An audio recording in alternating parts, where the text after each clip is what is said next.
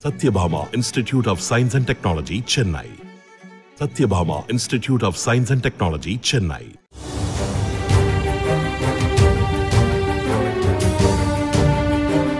கோவை மாவட்டத்தில் ஓடும் பவானி ஆறு ஆண்டு தொடக்கத்திலேயே வறண்டு காணப்படுவதால் காரமடை கிழக்கு ஒன்றியத்தில் உள்ள ஒன்பது ஊராட்சிகளில் குடிநீர் தட்டுப்பாடு ஏற்படும் நிலை உள்ளது. பில்லூர் அணையில் இருந்து நீர்வரத்து குறைந்ததால் பவானி ஆற்றில் வறட்சி ஏற்பட்டுள்ளது. இதையடுத்து ஆலாங்கொம்பு பகுதியில் ஆய்வு செய்த மேட்டுப்பாளையம் எம்எல்ஏ கே செல்வராஜ் புதிதாக துவக்கப்பட்ட திருப்பூர் மூன்றாம் குடிநீர் திட்டத்தில் இருந்து காரமடை மக்களுக்கு தண்ணீர் வழங்க கோரிக்கை வைத்தார். திருப்பூர் இரண்டாவது திட்டத்தில் இருக்கிற அந்த இருபத்தி ஏழு எம்எல்டி தண்ணீரை நம்முடைய காரமடை கிழக்கு பகுதியில் இருக்கிற ஒன்பது ஊராட்சிகளுக்கு வழங்குவதற்கு உரிய நடவடிக்கை எடுக்க வேண்டும்.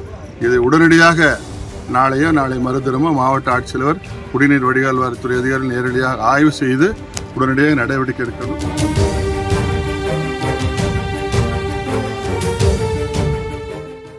Sathyabama Institute of Science and Technology Chennai Sathyabama Institute of Science and Technology Chennai